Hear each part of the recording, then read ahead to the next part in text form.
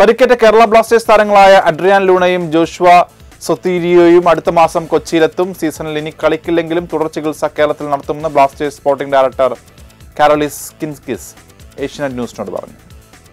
Pre season പരിശീലനം ഒരാഴ്ചത്തേക്ക് മുൻപേ പരിക്കേറ്റ ജോഷ്വ സുത്തീരിയോയ്ക്ക് ജൂലൈയിൽ മുംബൈയിലാണ് ശസ്ത്രക്രിയ നടന്നത്.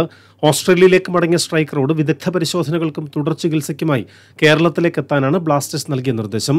കാൽമുട്ടിന് പരിക്കേറ്റതിനാൽ എട്ടാം മത്സരത്തിന് ശേഷം വിട്ടുനിൽക്കുന്ന അഡ്രിയാൻ ലൂണയും അടുത്ത മാസം പകുതിയോടെ കേരളത്തിലേക്ക് എത്തും.